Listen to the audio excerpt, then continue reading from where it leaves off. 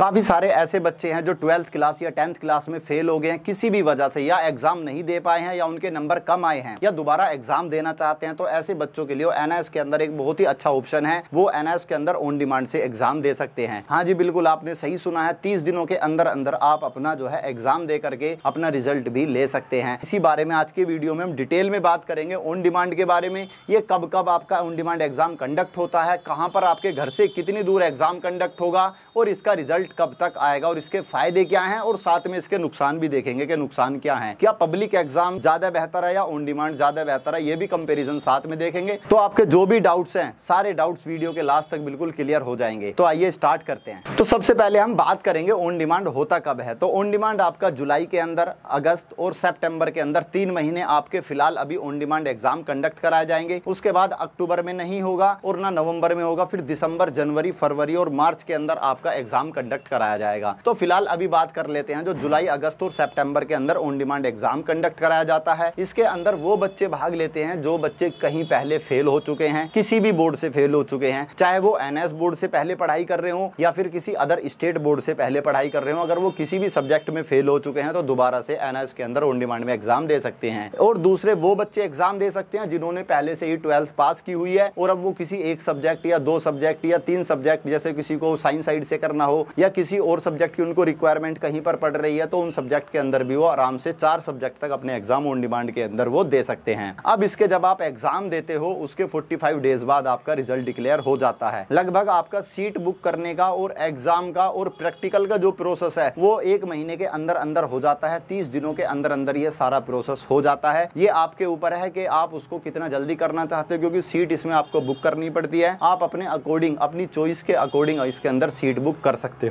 अब बात करते हैं हम ऑन डिमांड ज़्यादा बेहतर है या फिर पब्लिक एग्ज़ाम इसके क्या क्या फ़ायदे हैं? कुछ फ़ायदे भी हैं ऑन डिमांड के और कुछ नुकसान भी हैं। सबसे पहली बात करें जो सबसे मेन फ़ायदा है ऑन डिमांड का, जिससे जिसकी वजह से सबसे ज़्यादा बच्चे ऑन डिमांड एग्ज़ाम देते हैं, वो है समय कम लगता है ऑन डिमांड के अंदर। यानी कि आप एक महीने के अंदर अंदर अपना एग्ज़ाम वगैरह थ्योरी और प्रैक्टिकल सारी चीज़ दे देते हैं और उसके बाद आपका रिज़ल्ट डिक्लेयर हो जाता है। तो इसके में आपको बहुत ही कम समय में आप अपना साल बचा करके आपको कहीं भी एडमिशन ले सकते हो, यानी कि आपका समय कम लगता है। वहीं पब्लिक एग्ज़ाम की बात करें, जो अगला पब्लिक एग्ज़ाम कंडक्ट कराया जाएगा, वो आपका अक्टूबर में होगा, जिसके अंदर अभी तीन से चार महीने आपको लगेंगे। तो उसमें समय ज़्यादा लगता है, जिसका रिज़ल्ट भी आपका दिसंबर में आएगा। लगभग पाँच से छह महीने बाद आपका रिज़ल्ट डिक्लेयर होगा तो उतने आपके पास अगर समय नहीं है तो आप ऑन डिमांड से कर सकते हैं। कुछ जिसके कमी भी है, कमी क्या है, इसमें थोड़ा सा खर्चा ज़्यादा आता है as compare to public exam public exam की फ़ीस थोड़ी कम होती है, और ऑन डिमांड की फ़ीस ज़्यादा होती है, क्योंकि आप इसमें अपनी डिमांड के अकॉर्डिंग एग्ज़ाम कराते हो, जिसके अंदर आपको सीट बुक करनी होती है, इसकी वजह से इसका थोड़ा खर्चा ज़्यादा होता है। सेंटर इसके थोड़ा घर से कहा हो सकता है आपके ज़्यादा दूर पड़े। काफ़ी सारे राज्य ऐसे हैं जहाँ पर 200-250 किलोमीटर दूर भी आपका सेंटर पड़ सकता है, क्योंकि इसके सेंटर कम बनते हैं। ऑन डिमांड में बच्चे कम एग्ज़ाम देते हैं तो इसके सेंटर भी कम होते हैं तो इसलिए इसका सेंटर आपके घर से दूर पड़ सकता है। अगर बात करूँ इसके पासिंग परसेंटेज की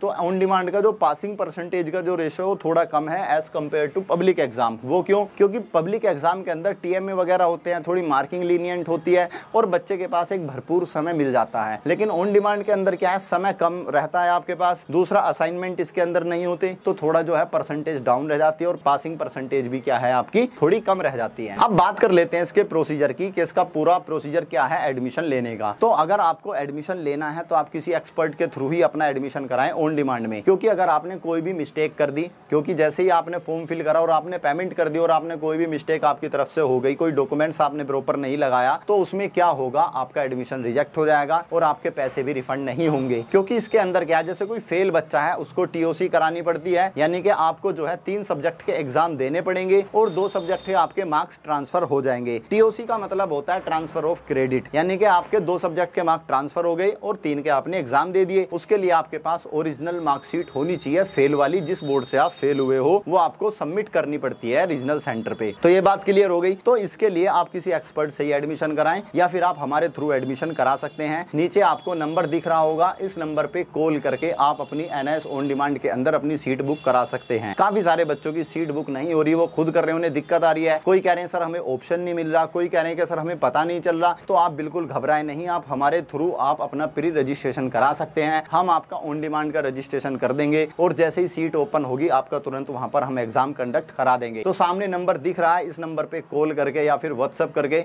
आप हमसे अपनी सीट बुक करा सकते हैं। ठीक है दोस्तों, मिलते हैं अगले सेशन में। तब तक के लिए keep study in pi study